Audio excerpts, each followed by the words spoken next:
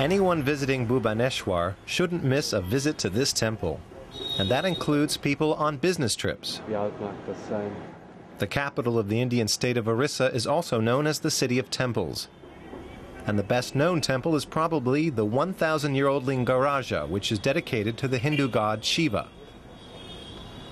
In Hindu mythology, Shiva is associated with destruction or transformation. A regular visitor to India, businessman Jens Kempken says his partners there don't expect him to know that sort of thing, but they do appreciate it when he shows an interest. He flies to India around once a week. But does he get to do any sightseeing? Not often enough. Usually my schedule is very tight. I arrive, I meet my clients, and then I take the next flight home. This time he's meeting customers several hundred kilometers away from Bhubaneswar. Kempken has booked a car and a driver. But we have time. Sir, We are not in a Formula One race. Ah. Drive Ah, sir. safely, Yeah. please. Okay, sir. It's a three hour drive to Bhushan Steel, a gigantic steelworks that's being expanded. Kempken's employer is the SMS Group. It just delivered an order of building units, and Kempken is here to see how the installation is coming along. India's steel industry is currently growing at a rate of 8%. The country is home to four major construction sites like the one Kempken is visiting. And SMS is supplying all of them. For example, with industrial ovens developed by the group. The furnace is used to melt steel out of iron ore and scrap metal, or ore that has been pre-reduced. The delivery road is littered with potholes. It's not a very comfortable ride. Stop. Stop. Stop.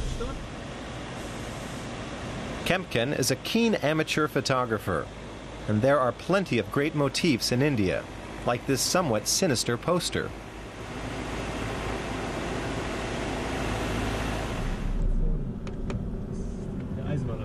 Then it's on to the next client, some 50 kilometers away. The sun is beating down, and the temperature is hovering around 40 degrees Celsius. Jindal Steel is a major employer in the region. It's spending over 2 billion euros on a new factory in the middle of the jungle. According to Jens Kempken, the state of Orissa is well on its way to becoming the country's industrial heartland, the Ruhr Valley of India. These are set to be the largest and most efficient ovens the company has ever built, and they will also be the largest furnaces that have ever been installed in India. How much is the contract worth? Roughly 40 million euros. We've also negotiated an option for a second phase worth the same amount again.